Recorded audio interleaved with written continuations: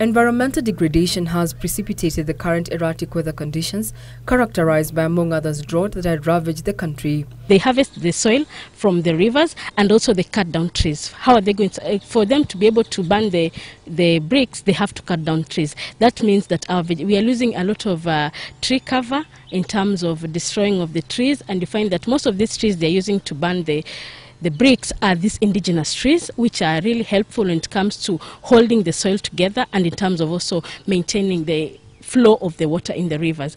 In efforts to stem the vice, environmentalists from Taita Taveta County are cautioning against illegal sand harvesting and brick making along water sources. You're not supposed to cultivate 30 meters along the river, but you find that people are not following that.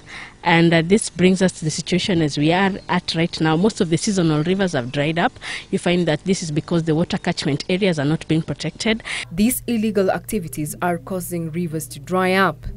Clarice added that the forest cover has adversely reduced due to the increase of logging, charcoal burning, mining and brick making.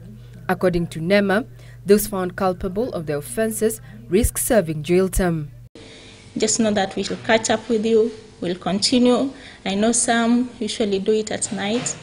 The county government is laying down laws and regulations to ensure conservation of environment, especially water sources, which are key for the survival of both man and wildlife.